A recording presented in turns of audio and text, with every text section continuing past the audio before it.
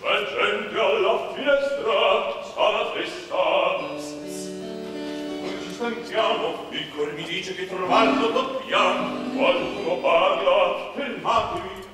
Mi pare che qualcuno qui si muova. Se non fallo è masetto, chi va là? Risponde, anima schiaffa il muso. Chi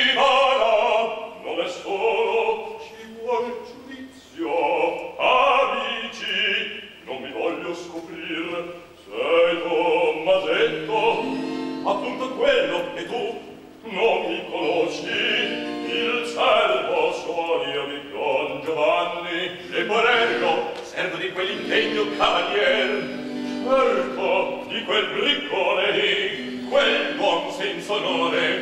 Ah, dimmi un poco dove possiamo trovarlo, io lo gemo con un sfor per trucidarlo. Bravissimo Masetto, anch'io con voi munisco per far